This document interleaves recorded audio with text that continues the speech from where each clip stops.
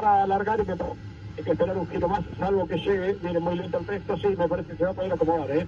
viene casi en ritmo de competencia, allí el piloto que había quedado mal posicionado se larga, se apaga el semáforo, sí señores, y alargado la segunda serie aquí, para el cartódromo internacional de la Cáceres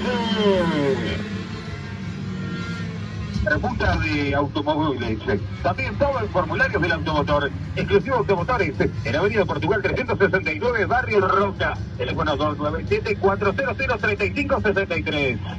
Ya vamos a confirmar de quién se trata el piloto que había tenido el inconveniente por el cual no podía estar eh, en la fila india acomodado, que ahora sí ya se ha aproximado y se ha podido hacer de la velocidad plena y poder estar en competencia.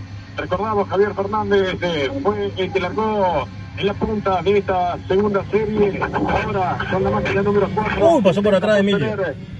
Por, el momento, con tranquilidad, una máquina que se fue a la tierra. Lo vemos allí, la máquina que ha quedado fuera de pista. Pasa Fernández primero, segundo lugar. Eh, ahora el piloto Jorge Cortas, ahí una máquina que quedó en mala posición, ya vamos a actualizar con relación a lo que nos está entregando este